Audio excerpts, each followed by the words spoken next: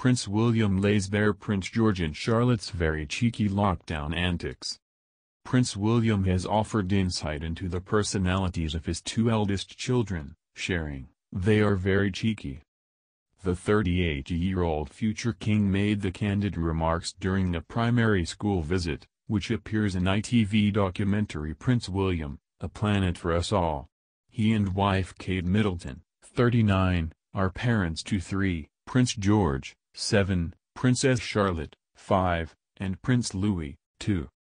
During the school visit in Liverpool, one young girl asks the Duke of Cambridge, is Princess Charlotte cheekier than Prince George? Prince William replied, no they're about as cheeky as each other. They're very cheeky. Students showed him their hotel for insects named Buckingham Palace, overseen by a queen bee. Another student asked whether George taught the art of the floss dance, to which William replied, no, Charlotte can floss. Catherine can floss, but I can't.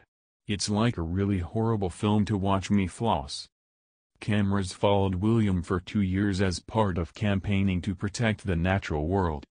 He said his children inspire him to take action, talking during a visit to Tanzania's Mkomazi National Park. William said, now I've got George, Charlotte and now Louis in my life, your outlook does change. You want to hand over to the next generation, the wildlife, in a much better condition. He also paid tribute to the work of his grandfather, the Duke of Edinburgh, and Prince Charles. William said, My grandfather, my father have been in environmental work for many years.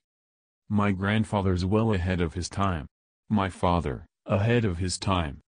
And I really want to make sure that, in 20 years, George doesn't turn around and say, Are you ahead of your time? Because if he does, we're too late. I'm